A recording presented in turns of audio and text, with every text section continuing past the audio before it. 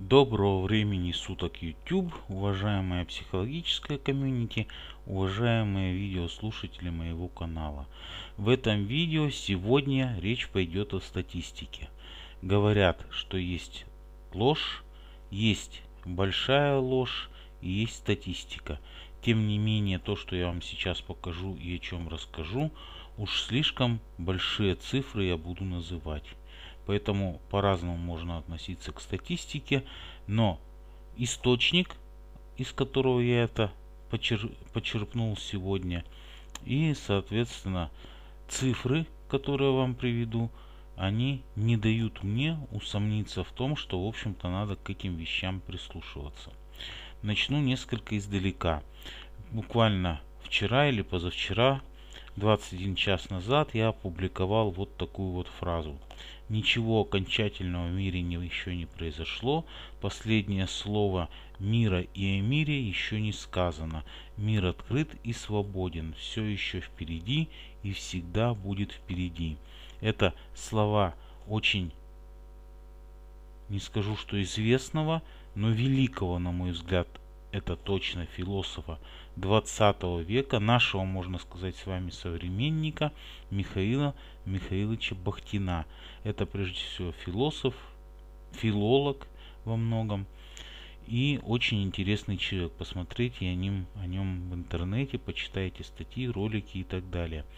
Но не об этом сейчас речь.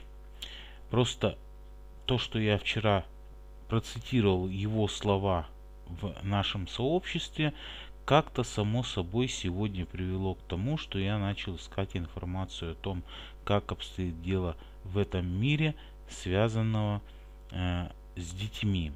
Ну и, в общем-то, нашел новую статистику, часть статистики старой, часть статистики новой. В частности, речь о том, что в России 250 тысяч детей в возрасте до 14 лет больных раком – эта статистика мне известна уже достаточно давно, по крайней мере несколько лет. И новая статистика, на которую я сегодня наткнулся, она заключается в следующей цифре.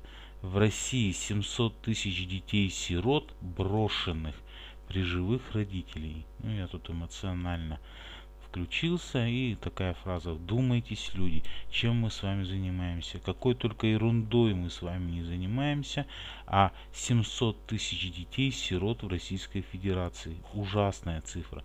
Ужасная цифра и 250 тысяч детей больных раком. И эта цифра огромна, и эта цифра огромна. Чему верить? Да всему надо верить. Скорее всего, оно так и есть. Источник надежный подтвержденное это все неоднократно в интернете проговаривалось, по крайней мере, о больных детях раком. Это страшная история, я сам наблюдал, видел таких детей.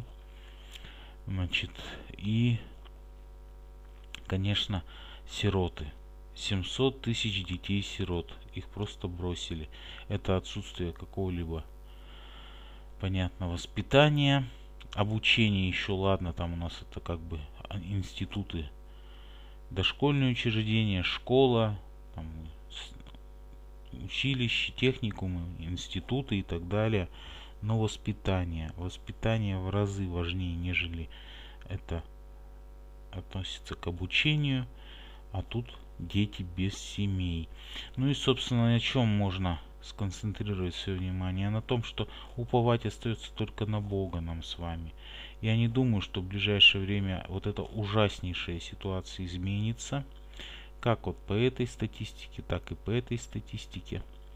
Уповать можно только на Бога, ну и на слова Михаила Бахтина о том, что последнее слово в этом мире еще не сказано. Возможно, нас ждут какие-то перемены. Но то, что, если говорить о статике этого состояния, этих состояний, она ужасна.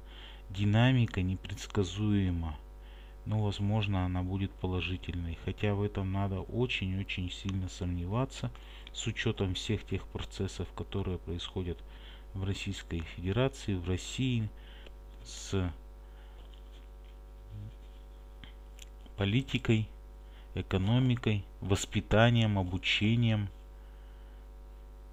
медициной в нашей реальной действительности – России 21 века, первой ее четверти 21 века.